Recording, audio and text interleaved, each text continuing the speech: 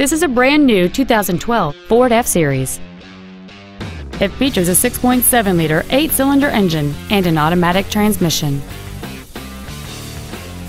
Features include a low tire pressure indicator, traction control and stability control systems, front and rear reading lights, a trailer hitch receiver, an engine immobilizer theft deterrent system, an anti-lock braking system, side curtain airbags, door reinforcement beams, and power steering. This vehicle is sure to sell fast. Call and arrange your test drive today.